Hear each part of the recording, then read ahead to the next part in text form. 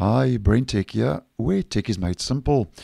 So, once again, Google is now making the early stable release of the Google Chrome web browser available, which I haven't received yet, and that's version 112, like most of you wouldn't have, because as I've posted previously, um, the early stable uh, is only available for a small percentage of users with the majority of um, people getting the release the following week. And this is because Google say they want to monitor the release before it rolls out to all users to obviously iron out any bugs before the official release rolls out the following week. And if we head over to the Chrome platform status, uh, yeah, we can see uh, it rolled out on the 29th of March, uh, which was late yesterday in my region, version 112.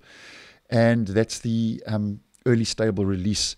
Now, um, if we just head over to the calendar, just to give you an idea and to put this all into perspective, um, the official release will be rolling out to the general public um, around about the 4th. So that would start the 4th or 5th next week of April 2023, and that's when we can expect that to roll out to the general public. Now, um, um, when this official release does roll out, um, Chrome will be updated to version 112.0.5615.49. And because it hasn't rolled out to the general public at this stage and is still to some extent in preview and is an early release, uh, Google has not published the release notes yet. So uh, it, is, it is not known at this stage exactly what Google will be rolling out uh, with the major version upgrade next week. So um, it's currently unknown what issues um, have been addressed and what features have been introduced.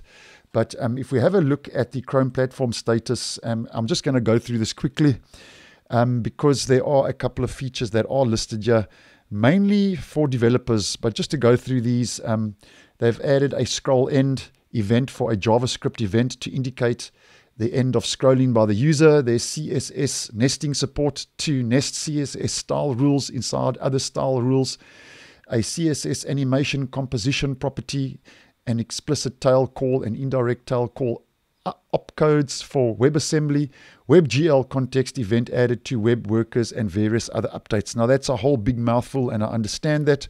But that's basically what we are seeing from the Chrome platform status because, as I've said, the release notes aren't made available as yet. But um, I think, um, in my personal opinion, I do think Chrome version 112, although it will be a version upgrade, won't contain that new, that many new features, um, according to the Chrome platform status. So I think most of the kind of um, um, new features or the updates will be taking place, so called, in the background under the hood. And then, of course, over and above those changes, we will be getting uh, the all important security fixes that do roll out with every version upgrade to Google Chrome. So, um, just letting you know, Early Stable has rolled out for a small subset of users a week before, and that's to Chrome version 112. So, thanks for watching, and I will see you in the next one.